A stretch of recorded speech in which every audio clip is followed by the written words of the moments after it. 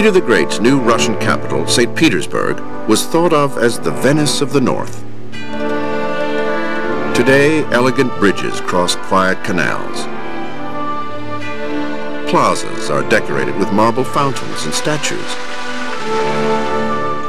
But in the late 17th century, when Peter came to power as a teenager, the Russia that he inherited was both primitive and poor. It was on the periphery of Europe and also on the periphery of Asia. It had got stuck between the two worlds in the most unfortunate and unproductive manner. But Peter saw potential just to the west. His goal was to turn Russia into a country as wealthy, civilized, and powerful as the great nation-states of Europe. There was only one thing standing in his way. Russia had no access to the ocean. If you look at a map of that era, you understand it's only a few miles from the Baltic. It's only a few miles from the Black Sea. Just needs to bust it out and to open up uh, Russia's possibilities for marketing its goods and to accumulate a treasury and then to build and accumulate an army to protect itself. Peter had only two things to work with. His own iron will and the slave labor of thousands of peasants. So around 1695, he set about building ships and training sailors to man Russia's first navy. In some sense, Peter was the first totalitarian leader, really, who started thinking how to use masses uh, to bring his empire to the peak of influence and might. Peter literally built ships with his own two hands, working on the docks as a carpenter. His passion for hands-on experience permeated every aspect of his reign as Tsar. Louis XIV wouldn't have known can, which end of the, of the cannon the, the, the ball came out of. And here's Peter down there saying, get out of the way, I could fire that gun better than you. I, I can build that ship better than you. In 1709, Peter and his new navy finally secured the window to Europe that he had so desperately wanted. His troops defeated the Swedish army, and Russia took control of Estonia, Latvia, and part of Finland. Peter had already started building his new capital of St. Petersburg in the middle of this conquered land. It was both a capital city grand enough to impress all of Europe and the ultimate statement of Peter's power.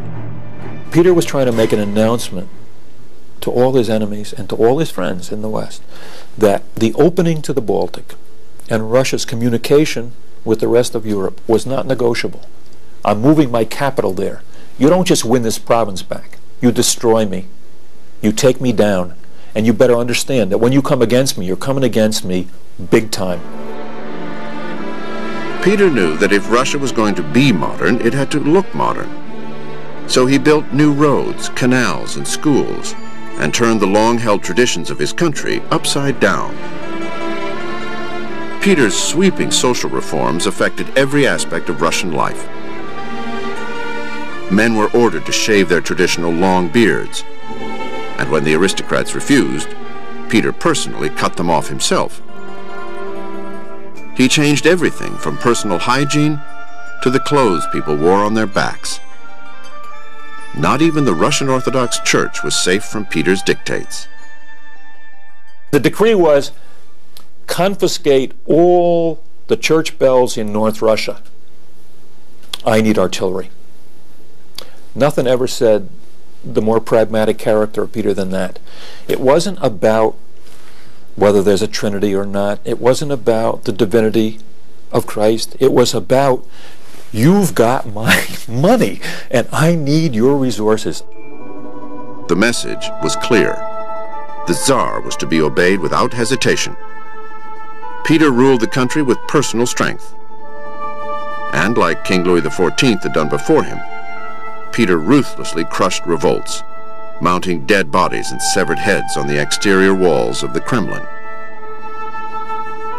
People who were watching him in those moments suspected that he was insane. His pleasure at the suffering of his enemies was too obvious and too deep. In 1725, his reign of violence finally ended. After years of terrorizing his people, Peter the Great died of an intestinal illness. He was 53.